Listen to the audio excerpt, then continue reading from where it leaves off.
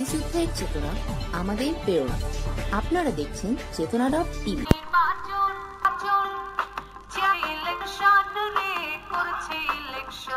বিসমিল্লাহ রহমান রহিম।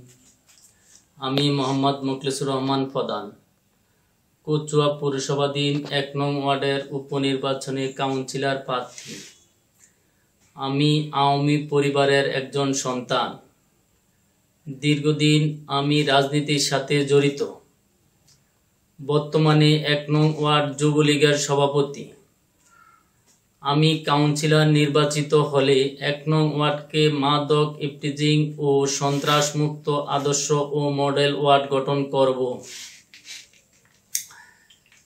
প্রয়াত কাউন্সিলর নজরুল ইসলামের অসমাপ্ত কাজগুলো সমাপ্ত করব ইনশাআল্লাহ। আমি জনগণের সেবক হয়ে কাজ করতে চাই। এলাকার রাস্তাঘাটের উন্নয়ন, অসহায় ও দরিদ্র মানুষের সেবা করাই হবে আমার লক্ষ্য ও উদ্দেশ্য। আমি সব সময় এলাকায় থাকি।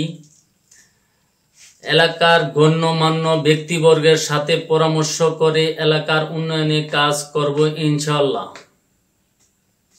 সকলে আমার জন্য দোয়া করবেন।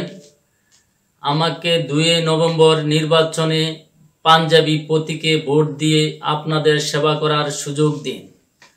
জয় বাংলা, জয় বঙ্গবন্ধু।